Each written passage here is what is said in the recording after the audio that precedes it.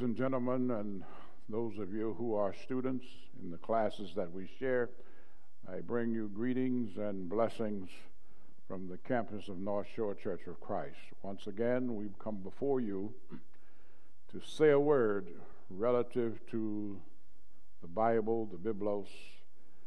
Uh, during the last few days, many words are being said using the Bible, even in the house in the House of Congress people are using the Bible. in many instances, they are misapplying uh, the scripture, but uh, I just will share with you what thus saith the Lord. Jesus said that ye shall know the truth, and it shall make you free. Uh, the great apostle Paul said, Study to show thyself approved unto God, a workman that needeth not be ashamed but handling aright uh, the Word of God. we love coming to you, and we pray that you are being uh, edified and your knowledge level is increasing because of your uh, working with us. I'm going to ask you to get your pencil, paper, and a copy of the Bible uh, for your study, or if you have it on your laptop or tablet or what have you, uh, that's okay too. It's always good to have a Bible that you can uh, uh, study along with us. Do not accept what I say, but accept what the Bible says. And what I say is just helping you to grasp what the writer of the word intended to be said. As you know, the Bible is divided into two parts there's the Old Testament and the New Testament. And of course, obviously, the New Testament has, uh, is better than the old. The old is good. The old served its purpose. It's just like an old car, it serves its purpose, and then you get a new car. And the new car obviously will be better uh, than the old. The same is true with the Bible. The new covenant is better uh, than the old. We at North Shore Church of Christ welcome you with love. We're people loving to serve people. We all come from different backgrounds, different experiences, different lifestyles. But when we focus on Christ, over time we grow together, where we get to the point where we have the same mind and the same judgment. But it takes time, it takes patience. It does not happen overnight. You cannot. Uh, you cannot be uh, chemical, chemically dependent today and then all of a sudden be into full sobriety tomorrow. It takes time and patience for the change, repentance to occur.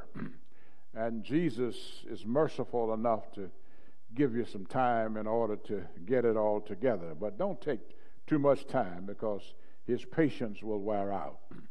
People are dying every day. Some are dying of natural causes, and others are dying of unnatural causes, others are dying of being caused by other human beings. But let us certainly pray for one another that we'll be able to live our lives to the fullest, such that the Lord can bless us with a heavenly reward because of our obedience to what He has said. Remember that our services on the Lord's Day, Sundays, start at 9 a.m. We welcome you to come and be with us, and I guarantee that you'll be better than you were when you came. When you leave, you'll be glad that you came, and then when you leave, you'll never forget the experience that you will have had in North Shore Church of Christ. We start at 9 a.m. on Sundays, all ages, for devotion, for worship, and for classes. And then uh, in the middle of the week, on Wednesdays, we have uh, dual Bible classes, one in the morning at 9.30 a.m. for those who are not night drivers, and then we have one in the evening at 6.30 for those who maybe are working during the day and they need a midweek refueling. You know, we need to.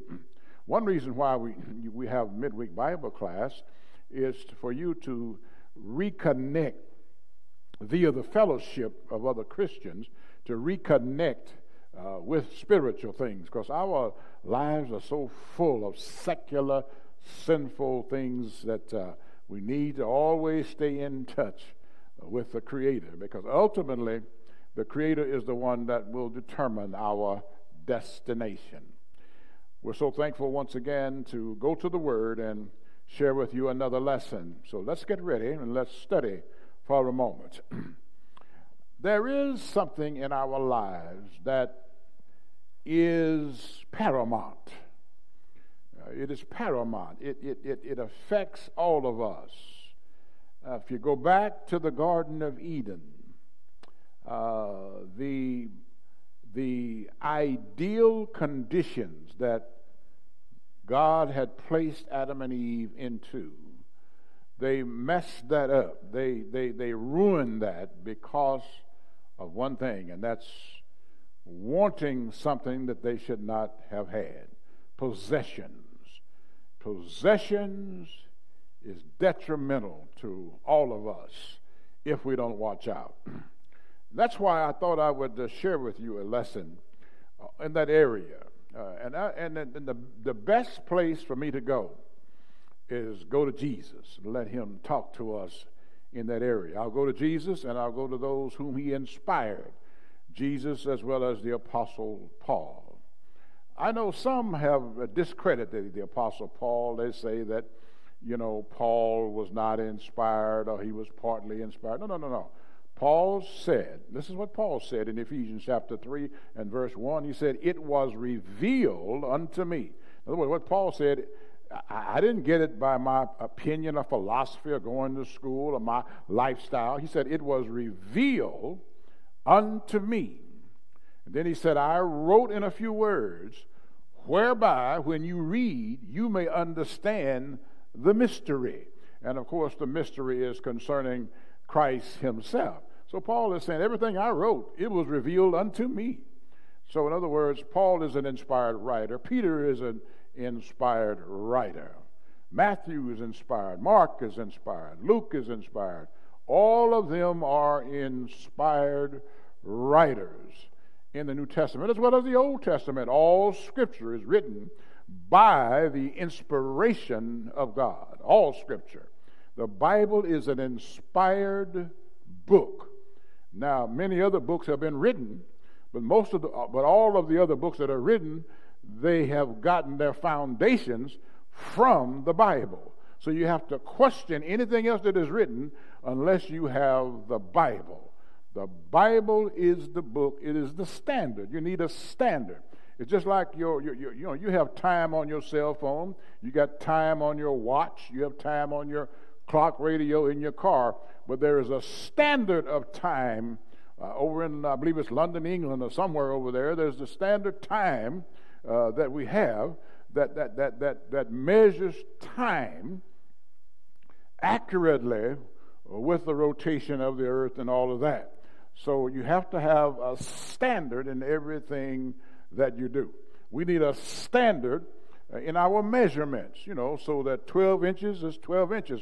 We need a standard so that one pound is one pound. That's why every now and then when you go to buy your gasoline, there's a sticker on the gas pump that says it has been checked back to the Bureau of Measures and Weights and Measures. Uh, there's a standard so that a gallon is a gallon. And the same is true with our spirituality. Uh, the Bible is our standard, not some book that some man like me has written, but the Bible is the standard, all right? And when you use the Bible as a standard, all of our conflict and issues will go away. If the Jesus is our focus, he'll put us all together so that we'll be of the same mind and of the same judgment. So now let us talk for just a moment about possessions. And now let's, let, let's, let's, let's look at it this way material possessions. All human beings want some type of material possession. All right, now the subject that we have is avoid your possessions possessing you. Avoid your possessions possessing you. All of us at some point, you have a possession that will possess you, it will control you. You have to have it. At least you think you have to have it until it's taken away from you. We have something in our lives that we, we have, that we just got to have. Well, I can name one that just about everybody, uh, almost on, in the world, and that's a cell phone.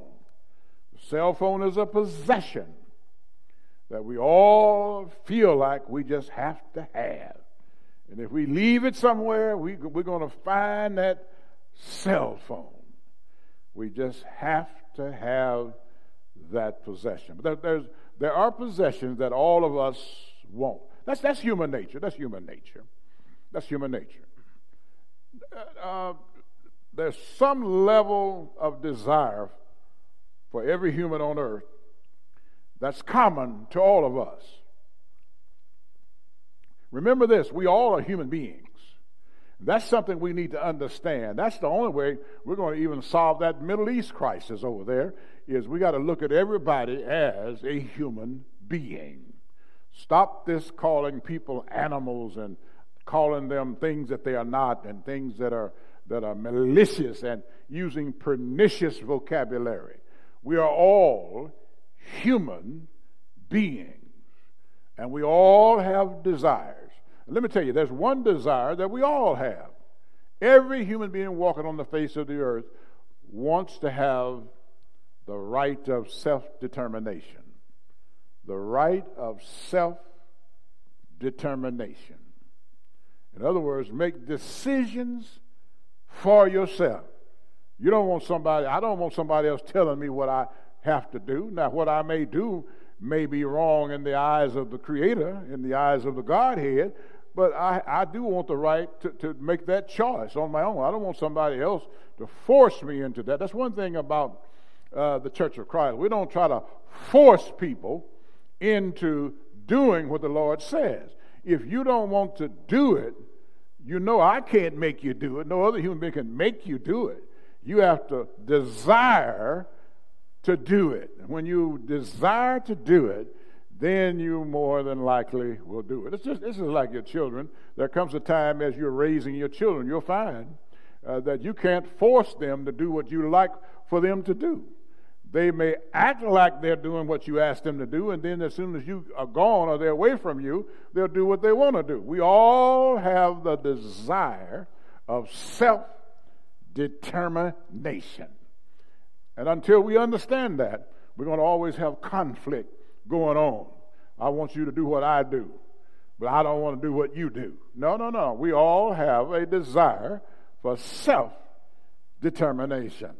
We all desire possessions. Now, let me say this. Let's talk about this for a moment. There is nothing wrong amassing possessions, okay? You know, gathering possessions. Nothing wrong with that. Uh, such re- blessings as uh, such uh, possessions as property. There's nothing wrong with owning property, okay? Uh, nothing wrong with that. Nothing wrong with owning material goods, you know, clothing, your shoes, your, you know, your, your, your wearing apparel, uh, your, your, your living uh, situation, your furniture, uh, your, your house, your jewelry. There's nothing wrong with material goods. There's nothing wrong with wealth. Nothing, nothing wrong with, with wealth at all. As a matter of fact, uh, the Godhead made uh, many of the biblical characters wealthy. Solomon was wealthy. Abraham was wealthy. Isaac was wealthy. Jacob was wealthy. They all were, they had a certain amount of wealth.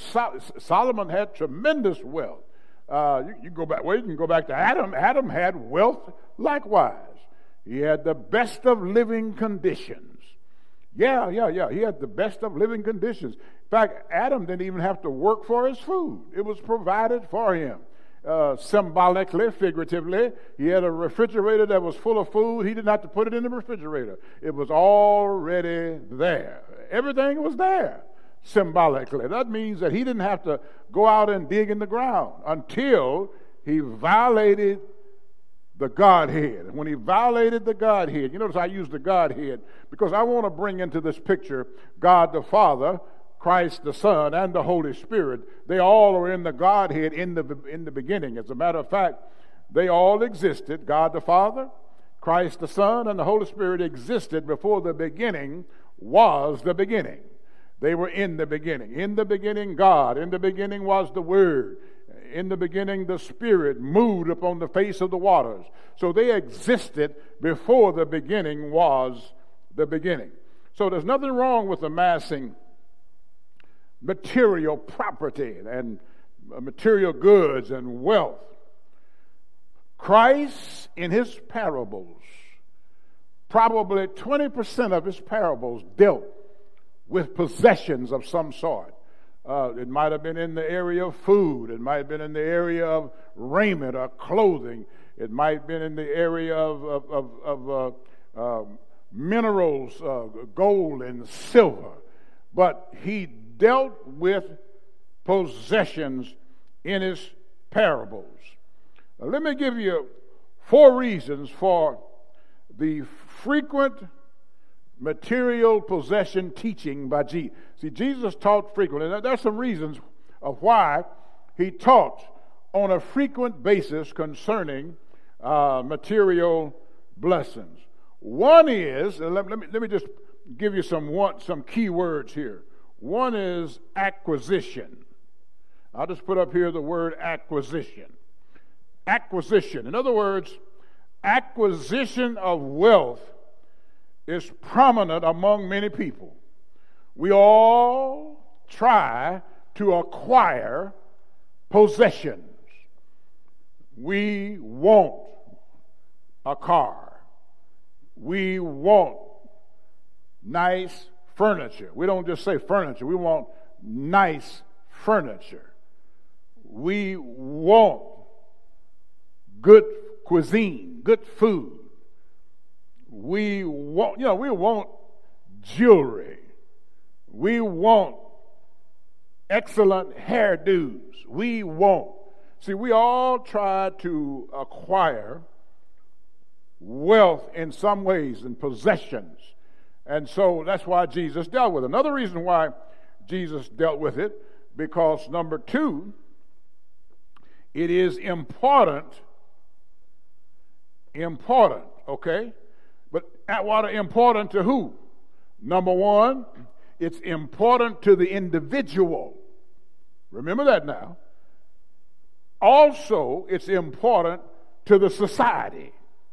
In other words, there are some things we want as individuals, and then there are some things we want as a society. What do we want as a society? Well, right now we want clean air, don't we? in our environment. We want good highways to drive on. Uh, we want a, a ready uh, food supply. So there are things that we want as a society we try to acquire. There are things we want safety and security. That's why we got all these people buying guns. You know, we've got 300 million people in the United States, 330 million people in the United States of America, but we got 400 million guns out there. Isn't that amazing? We, we got almost a gun and a half for every, um, every citizen walking the street. And, and that's a sin and a shame that we, that we have to, a, a country as blessed as we are, but we got to have that many guns on the street. And we still, many still, excuse me, do not feel safe and secure. Not only do we have the guns, we got the dogs, we got the chains, we got the locks, we got securities on our cars, security in the house, security in the garage, security out on the lawn, lights shining, everything. We got security everywhere. We got cameras on the street corners, cameras in the garage, cameras everywhere, and we still don't feel secure. All right? But uh, it is important. One reason why Christ taught on this, because it is important to the individual, me as an individual, you as an individual. It's also important to society. Another reason that Christ taught on possessions so frequently is acceptance, all right? Acceptance. Acceptance of what? Brother Atwater, acceptance of what? acceptance of the Lord's redemptive concepts is hindered by our quest for riches. In other words, when you have that strong desire for possessions, it creates a stumbling block toward your acceptance of the Lord's concepts. Okay? When you want something material, sometimes you will violate the Lord's concepts. That's why some people steal. They can't buy it, so they steal it. Some people, uh, they want it so bad that they have to work on the Lord's day instead of worshiping on the Lord's day. One thing that, that, that, really, that really hurts my heart is I'm on my way to worship on the Lord's day, and I see people out washing the car, cutting the grass, painting the house, washing windows, walking the dog. They walk the dog on Sundays, but will not walk the children to worship on the Lord's day. It's amazing, okay? So that's another reason why the Lord taught it so, so frequently is acceptance of his concepts as opposed to what your wants are. Another reason that the Lord taught it, I'm going to give you a, fourth reason, is experience. You know what? The Lord is an expert in economics. He created ec- economics, he experienced economics, and he is aware of the result of economics. The Lord is an economical expert. As a matter of fact, the Lord knows how to multiply. The Lord understands supply and demand, demand and supply. The Lord understands uh, the, the, the, the, the transfer of goods and services, the providing of goods and services. In fact, God is referred to as Jehovah Jireh. He provides for humanity. So the Lord understands economics. As a matter of fact, Joseph, the patriarch Joseph in the Old Testament, made Egypt rich. E- Egypt did not get rich on its own. Egypt got rich because of Joseph. That's God's man was taken there as a slave, as an on an Israelite caravan, and he was actually imprisoned. And he rose ultimately to become second in command in Egypt, and he built the wealth of Egypt all right, out of God's goodness. So experience. So the Godhead is experienced with economics. And that's why Jesus taught on it, because the Lord knows how economics work. Okay? Jesus also taught something else about earthly wealth. Now, as these are the four reasons why it's so prominent in the teachings and the ministry of Jesus the acquisition side, it's important to individuals as well as society. Acceptance of his concepts can be hindered, so he taught on it. And then, of course, he's experienced in economics. Now, he taught that earthly possessions, remember this class now, he taught that earthly possessions, earthly possessions, are lower in priority than are our individual salvation. Individual salvation is priority, whereas our, uh, our earthly possessions, they are secondary.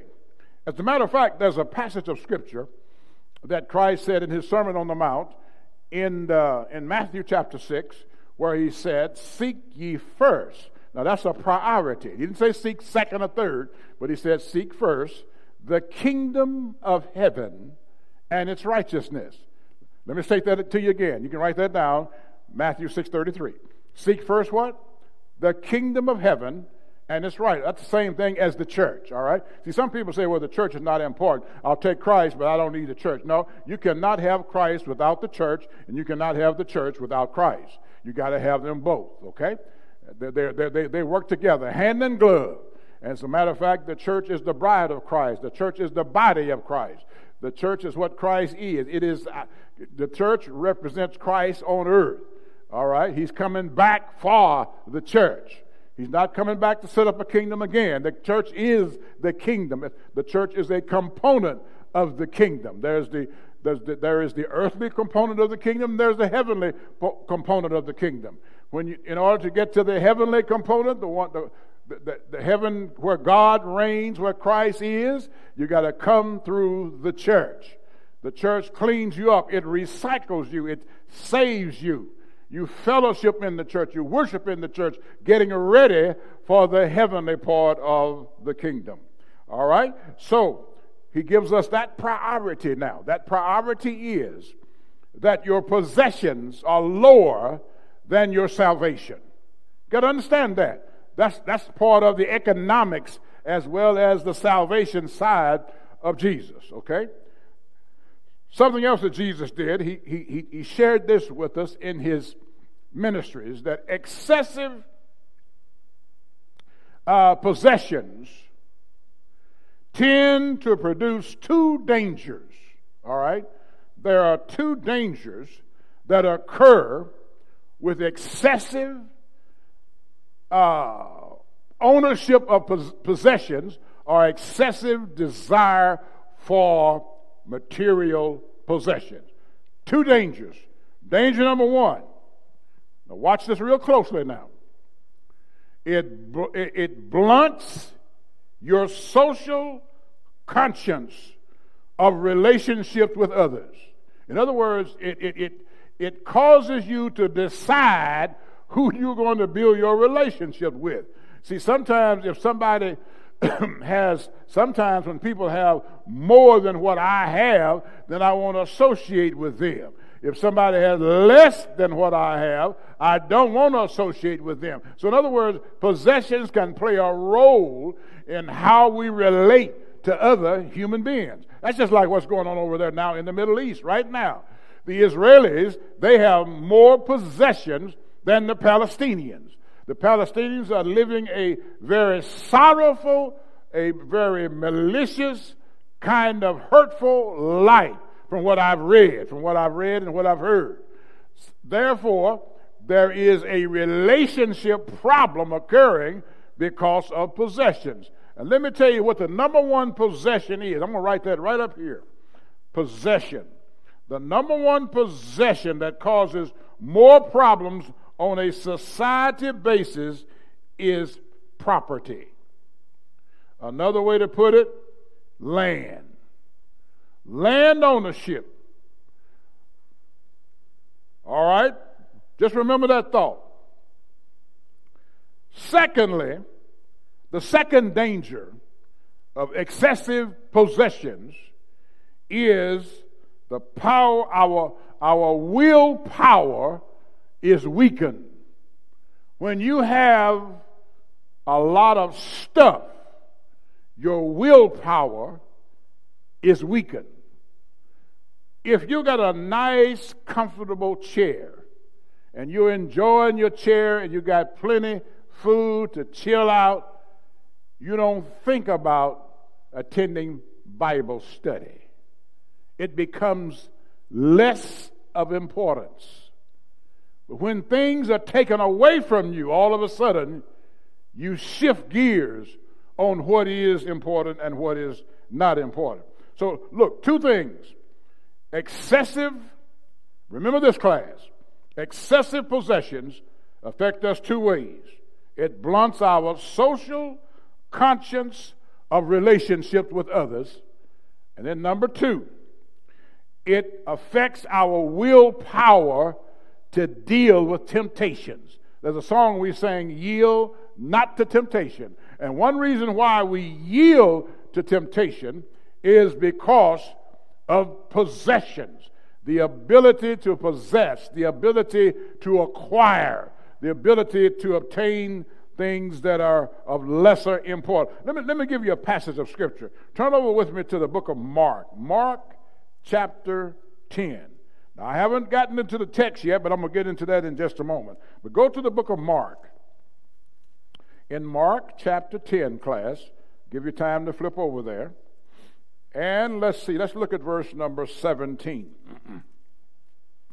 verse number 17, there is the there is the dialogue there of what is called the rich young ruler.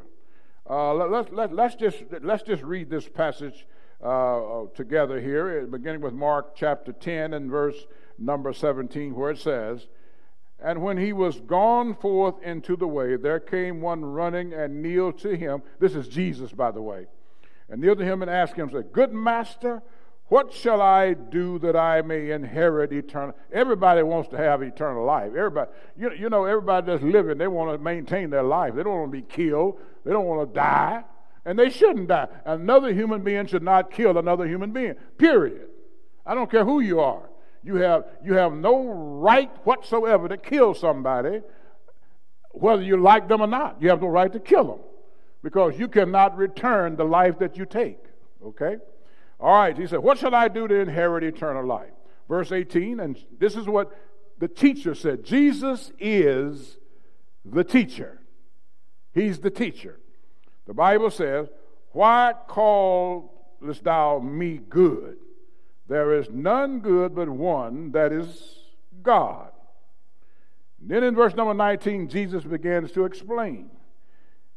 In the Old Testament, thou knowest the commandments. He said, Now you've been reading the, the Old Testament. Now, obviously, you can't read the New Testament because you don't have it yet. But you've been reading the Old Testament at this point. This is the first century, by the way. And he's saying, But you have been reading the Torah. You've been reading the prophets, all right? What does it say? It says that. Um, do not commit adultery. All right? You know, it's amazing how we can talk about homosexualism, bestiality, incest, but nobody ever says anything about adultery. Well, adultery is just as bad as all the rest of them. Line them all up, okay? Do not commit adultery.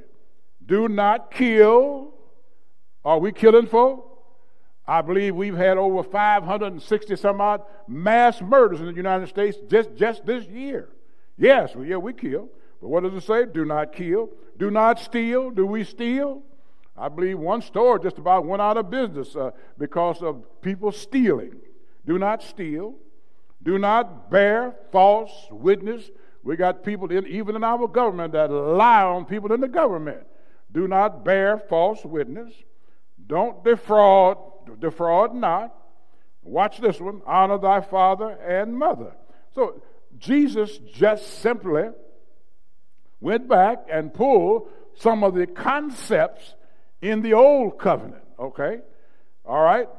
And so he answered and said unto him, oh, Master, all these have I've observed. In other words, I've done all of these from my youth. So, so in other words, in other words, you know, you, you, give me an answer. I, have done this. I've done, I've done this. I've done this. You know, a lot of people say, you know, I'm, I'm a pretty good person. I haven't done any of these. All right. Then Jesus, beholding him, loved him and said unto him, Now here's where the real the rubber meets the road. See, th- this is this is why. This is why the Old Testament is written for our learning.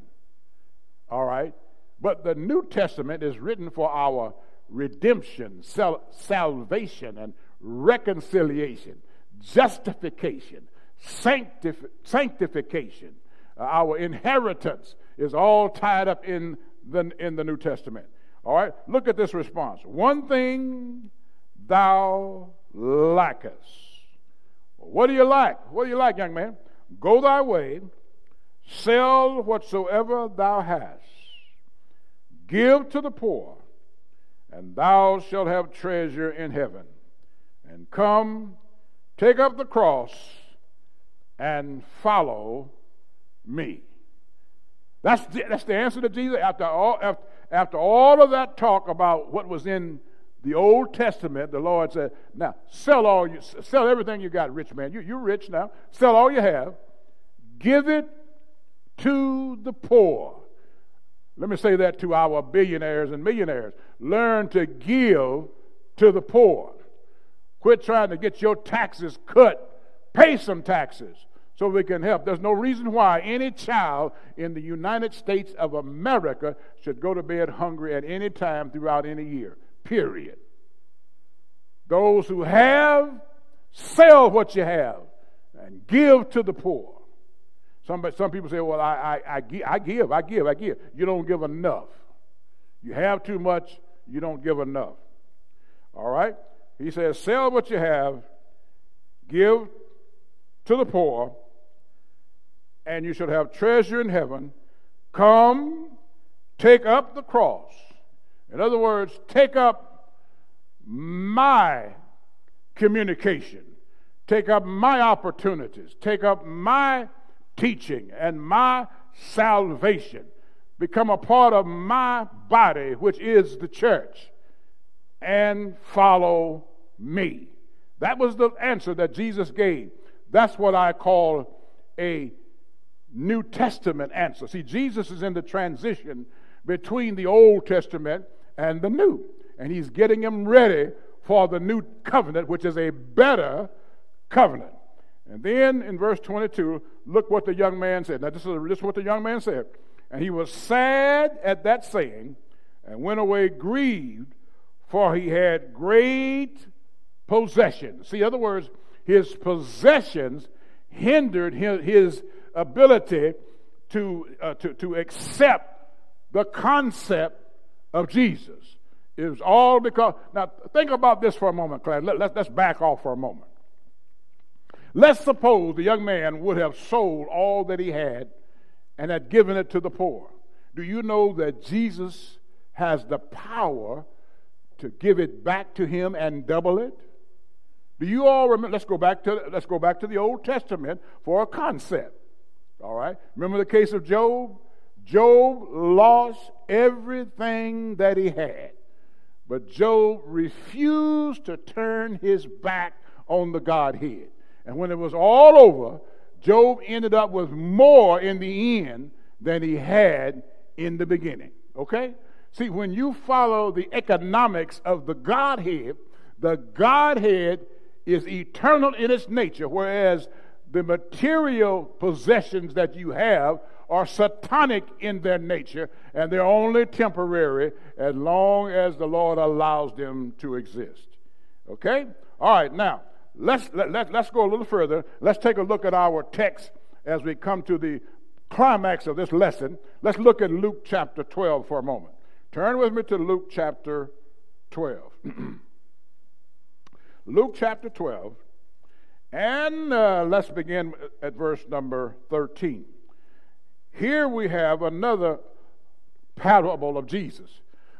Jesus used parables because it, it, it is difficult to relate spiritual things to fleshly people. I'm fleshly, and it's hard for me to understand the spiritual realm when I have never been to the spiritual realm, but I'm living in the fleshly realm. All right?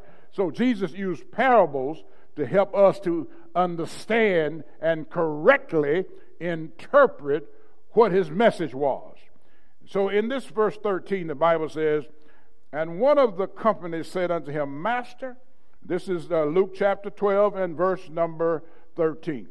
He says, And one of the company said unto him, Master, speak to my brother that he divide the inheritance with me. Now look, look here. Right off the bat, you got an inheritance. You, you know what it's like when, when there's an inheritance and the family gathers around. There's always a fight. There's always fussing. There's always a fallout. There's always complaining. What about me? What am I supposed? I wanted that. He told so and so before they died said that was going to be mine. That's mine. That's mine. You know, many times people don't have a will. They don't have it all spelled out. Even when they have it spelled out, you still have an argument. Oh, I don't believe it. You know, he didn't say that, and all this kind of. You know, it's amazing what an inheritance or possessions will do to people. I've seen people lose just about all of their inheritance because of arguing, because of fussing and fighting. Nobody gets it. You know, it's better to get something, get a little something, than to get nothing. Isn't, that right? It's better to act decent. Even if somebody else gets more than you, it's better to get something than to get nothing. Okay? But yet and still, here's the, here's the, here's the man, he says to, the, to Jesus, he said that he will divide the inheritance with me. Verse 14, and he said unto him, and this Jesus said, Man, who made me a judge or a divider over you? And he said unto them, Take heed, Now, watch this now. Here's another word that comes into play. Be aware of covetousness, for a man's life consisteth not in the abundance of the things which he possesseth. Your life is not tied to your possessions, all right? Brother Atwater, how, how do you know that? How, how, how would you say that? Well, here's the way I would say it. When you go to the cemetery, where all the dead people are, I don't see any of their possessions at the cemetery. You know, it's amazing at the cemetery, everybody looks alike. I see dirt, grass, everything looks the same. Grass is green, the dirt is brown. As a general rule, brown, red, or black, or whatever. Dirt is dirt. Grass is grass. And then we as human beings put some flowers on top of all of that. So, really, when you go to the cemetery, everything is in the hands of the Almighty Creator. The house that we live in, the body, goes back to the earth from which it came. And, every, and then the spirit goes back to God. So it's not the possessions where life is. Life is in God and in the is in the soul of human beings. Okay. Now, let, let, let, let's, let's, let's just deal with this, this particular teaching of Jesus in a little more detail. The man asked a question though he was really not desiring to please the Lord. See, he, see, sometimes people ask a question just to see what somebody is going to say, but they don't intend to do what the answer is or what to say. So some people come to church just to, just to see, but they don't come to obey. All right? Some people come to church just, to, just for tradition, but they don't come to try to get their lives in a new condition. They want tradition, but not condition. And, that, and, and, that, and that's, that's really, really the case. And that's the case with this man. Now, the Lord used, now watch this now. The Lord used his crooked intention to teach on covetousness. See, sometimes the Lord will use our flaws to teach on faith. Sometimes the Lord will use our curiosity to teach on caring for one another. See, sometimes the Lord will use our shortcomings to help us to shift over into a long term life living. All right? The man's life does not consist of the abundance. See, Jesus starts right out. He said, Man's life does not consist in the possessions that he has. Life is more than a physical existence. That's the second thing Jesus wants to get across. See, in other words, life is not just physical, there's a spirit, life is spiritual. We are measured. Now, watch this very close. I want you to write this one down now. We are measured uh, by what we are, not what we possess. Let me say that again now. We are measured by what we are, not by what we possess. There's some people that are very well, they're billionaires. Look at our former president. He claimed to be a billionaire, but he's not. That's being, that's, that's being proven. He's defrauded the government, he's defrauded the banks, he's defrauded society, he's defrauded all of us, as a matter of fact. He's highly visible, a bad example for our young people. Many people are following him, but he's a bad example for our youth on how to conduct ourselves with our material possessions. All right? So it's, we are measured by what we are and not what we possess. And you know what? What you possess will not be around long. It's temporary. It can be stolen. It can wear out. It can rust out. Time takes its toll on our possessions. Okay? True well living comes from the Godhead and its, its provisions. In other words, the Godhead gives us what we call the well being lifestyle. The Godhead, okay? Now, let's deal with covetousness for a moment. Covet, covetousness, all right, if I can say it. Covetousness is a sin. All right, let's turn with me to 1 Timothy. Let's go over a little further. Paul wrote 1 Timothy as he was writing a letter to his young assistant in the gospel. 1 Timothy chapter 6. And let's start with verse number uh, 7 through 10. All right? 1 Timothy chapter 6. Here we're dealing with the use of our possessions or the use of wealth. And the Apostle Paul, remember this now. Some people say, well, you know, Paul is not that important. Yes, he is very important. Paul, what he received, he was inspired by Jesus. Jesus is the teacher. Paul is the vessel through whom Jesus sent his word. Okay? All right. So, what, what did Paul write? Paul wrote in verse 6, he says, uh, But godliness with contentment is great. Oh, Lord. Let me, let me write that up here for you. We got to learn something contentment.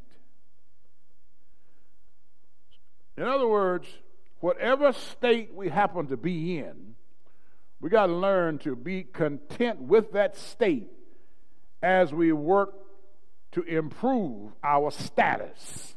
Let me say that again. Be content in your state until you can improve your status. And it takes patience in that move. Be content in your state until you improve your status. Okay? So Paul says, but godliness with contentment. Now, watch this now. Be content and godly where you are. Notice what I said.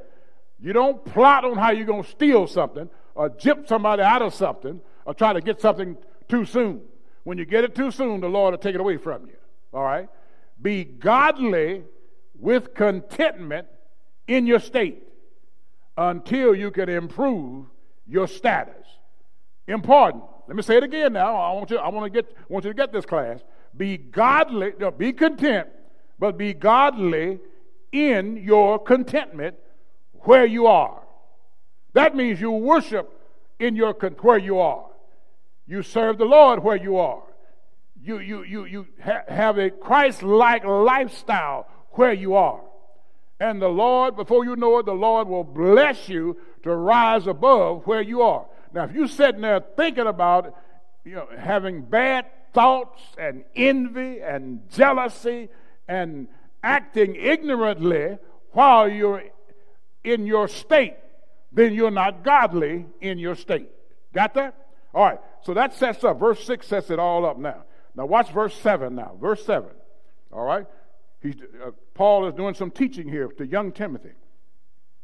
He says, For we brought nothing into this world. That's true. Every baby that comes into this world don't bring a thing with it. The only thing a baby brings with it is a cry, a cry, and a bowel movement. That's what a baby brings. Nothing else. Okay? All right.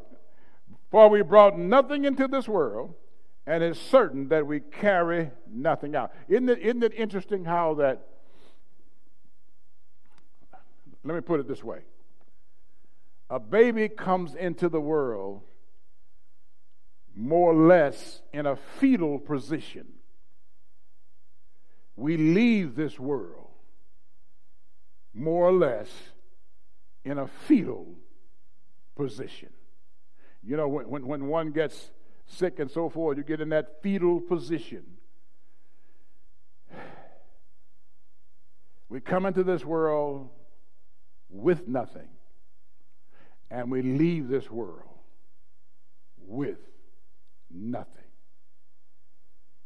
but our soul.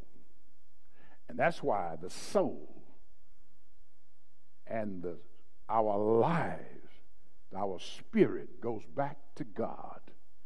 That's why we want that to be righteous when we leave this world. All right? So now, so Paul says, For we brought nothing into this world, and it's certain that we carry nothing out. Certain, it's certain, it's certain. It, it, it's no, it's no wishy-washy, no question about it. You don't carry anything out. Okay. Now look at verse number eight. And having food and raiment, let us be what? Therewith content. Watch me now. Watch me. What, what did I tell you? If you got food, if you got clothing, and you got some mobility, be godly in your contentment. All right? Don't, don't, don't, be, don't, don't, be, don't be plotting in your contentment. Don't be plotting. Be godly in your contentment. Don't, don't, don't be envious, but be godly. Don't be jealous, but be godly in your state. If you happen to have a large inheritance and you're sitting on four or five million dollars, be godly in your state. What do you do? Give to the poor. Help those that are less fortunate. Give the Lord a return on his investment in you because the Lord can take it all away from you. In fact, the Lord is going to take it all from you when you go to the cemetery. When you go to the cemetery, all your possessions remain on earth. Everything you got remains on earth except your spirit, which goes into God's control, Christ's control, the Holy Spirit's control for the judgment, waiting on the judgment. All right? Having food and raiment, let us be there with content. Then he says in verse number nine, but they that will be rich watch this now, fall into temptation and a snare, and into many foolish and hurtful lusts, which drown men in destruction and perdition. Then he closes in verse number 10, he says, For the love of money, that's possessions, is the root of all evil. Now, money itself is not evil, but the love of money. And love there is ereo or lust of money. Lust of money is the root of all evil, which while some coveted after, they have erred from the faith. In other words, they are not godly, not godly, erred from. When you err from the faith, you have not been godly. All right?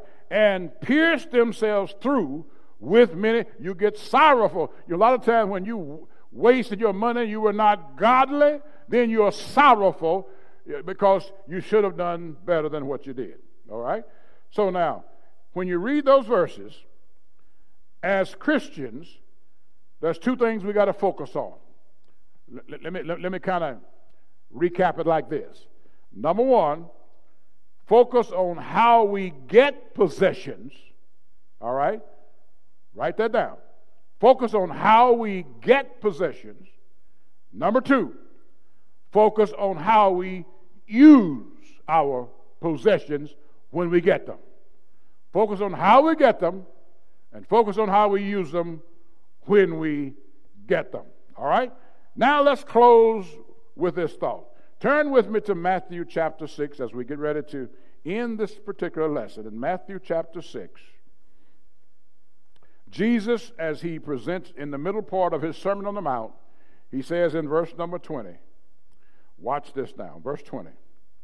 He said, But lay up for yourselves treasures in heaven, where neither moth nor rust doth corrupt, and where thieves do not break through nor steal.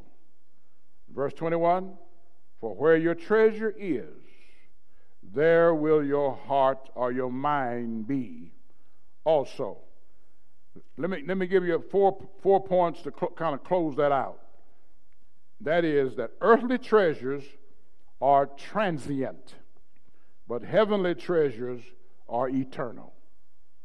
Write that down. Earthly treasures are transient, but heavenly treasures are eternal. All right, let me give you number two. Earthly treasures steal the heart, but heavenly treasures seal the heart. S E A L. Earthly treasures steal the heart, but heavenly treasures seal the heart. let me give you a third one now. Earthly treasures blind our vision, but heavenly treasures provide moral and spiritual vision. Let me say it again now. Heavenly treasures blind our vision, but heavenly treasures provide moral and spiritual vision where you're able to see the unseen. See, okay. Now let's close with this one. The fourth one I want to give you. It is impossible to serve both God and mammon. Let me put it in street, street language. It is impossible to serve both the Creator and your money or your possessions. Look at Matthew chapter 6, verses 24 uh, and 25. Yeah, verses 24 and 25. Look at verse 24. It says this No man, that's man or woman, can serve two masters, for either he will hate the one and love the other, or else he will hold to the one and despise the other. You cannot serve God and mammon. Look at verse 25. Therefore I say unto you, this is Jesus now. This, this see, you got you got to understand to to to uh, to accept the concepts of Jesus. Our possessions many times blind us, and we can't see these concepts. That's why you got to your, your, your, possessions are secondary and tertiary to, to your salvation, which is primary. All right? So, verse 25, Jesus says, Therefore I say unto you, take no thought for your life, what ye shall eat or what ye shall drink, nor yet for your body. You know, you know, sometimes we put more time in our fingernails and toenails than we do in getting the word in our mind. It's amazing the money that people spend going to the to the saloon or wherever they go to get their toenails, the nails, and the hair done. The money and the time they spend and don't take a time to pick up the word and the concepts of Jesus. I'm not knocking you for do, taking care of your nails and your toenails, but let me tell you something. At least give the Lord equal time because He gave you those nails and those toenails. You can get to a point where you won't be able to even cut your toenails and your nails. Then what are you going to do? You need the Lord, all right? He says, Now, take no thought for your life, what you shall eat or what you shall drink, nor yet for your body what ye shall put on. Is not the life more than meat, and the body than raiment? All right, class, may God bless you. Avoid your possessions possessing you, and the Lord will bless you. May God bless you. Let us have a word of prayer. Heavenly Father, we're so thankful for this class, and we're thankful for these great, beautiful people that tune in with us from time to time and study with us. We pray that they are growing day by day, little by little, as they understand a little more of thy spiritual concepts to apply to their lives. Forgive us for the things that we have not done that we should have done. Bless us to begin to apply the principles to our lives. Help us to have love one for the other. Get rid of all the hate that is in us, the hostility, the anger, and, the uh, conflict. And let us begin to cooperate and learn to be godly and content in the state where we are as we, as we attempt to improve our status. These blessings we ask in the name of Jesus, we pray. Amen, amen, amen. May God bless all of you, and we'll see you in the next Bible class.